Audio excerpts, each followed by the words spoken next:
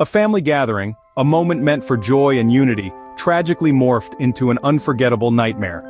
In a horrifying turn of events, a nine-year-old child was killed, both parents severely wounded in a mass shooting at a family gathering. In the face of such a heartbreaking incident we are left grappling with the stark reality of this senseless violence. The details of the incident remain deeply unsettling. A family gathering, a safe haven of warmth and love abruptly shattered by the deafening sounds of gunfire. A nine-year-old child, the joy of his parents' world tragically caught in the crossfire. His parents, both severely wounded, left to mourn the loss of their child while battling their own injuries. A scene of celebration turned into a scene of despair and a heartbeat. This tragic event has once again ignited the ongoing conversation about gun control and the safety of our communities. It has highlighted the urgent need for effective measures to prevent such incidents, to protect innocent lives from being lost in senseless acts of violence. It is a somber reminder of how life can change in an instant, how a moment of joy can quickly become a moment of profound sorrow.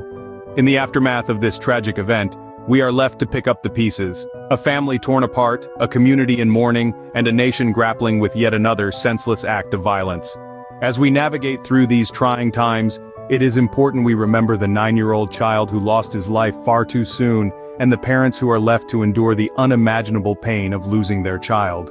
In conclusion, a family gathering meant to celebrate love and unity was tragically marred by an act of violence that took the life of a nine-year-old child and left his parents severely injured.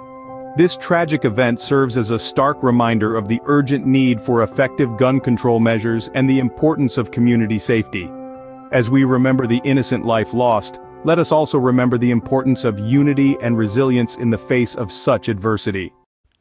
God bless this nine-year-old girl. God bless her family.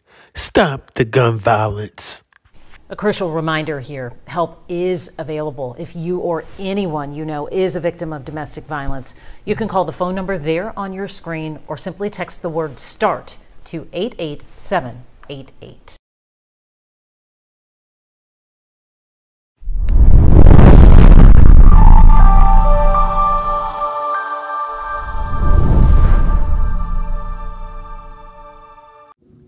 Thanks for watching. We appreciate you. Please, please subscribe.